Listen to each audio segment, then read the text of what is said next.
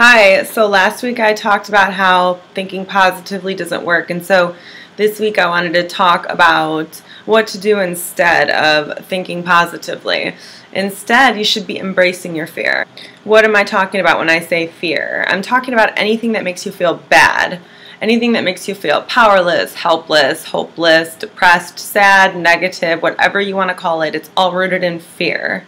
It's um, part of the duality of our existence. Everything's rooted in love or fear. These feelings are rooted in fear. So embrace your fear. What that means is when something triggers you, when something pisses you off or pushes your button, and you feel that flood of emotion, say thank you and welcome it. So befriend your fear and treat it like a child. Start asking it, what's wrong?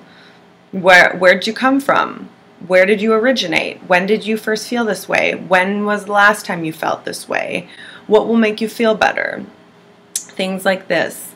And let the answers just come right out of you. This isn't an intellectual process at all. Asking all of these questions will eventually get your fear to communicate with you. It's so used to being suppressed or denied or made an enemy of that it may take a little while for you to really master this process.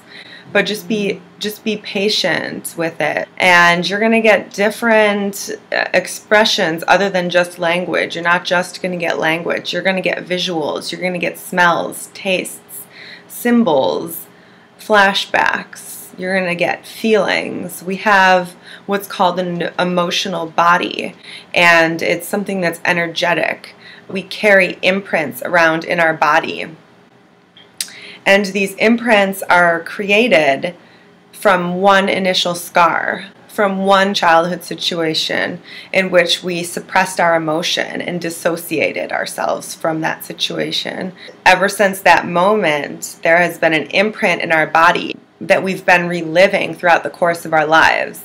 So the goal is to get to the bottom of each emotional imprint. You're going to have probably many. Once you're triggered, you know, communicate with the fear, let the fear flood up fully. You have to fully experience that emotion as if you were actually in that situation 10, 20, 30 years ago. And it's not going to take effort for you to do this. It's going to just it's going to just come out of you if you're doing it the right way.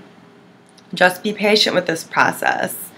What's triggering you today on such a deep, disturbing level is not a product of what's actually happening in your day to day life. It's because it's touching a wound. It's like pouring salt in a wound, and there's something about your current situation that's triggering you. It's triggering the memory of the emotional body from your past scar just that alone should release some of the tension in your life. In the society that we live in, we learn to make an enemy out of the fear. We call it feeling bad.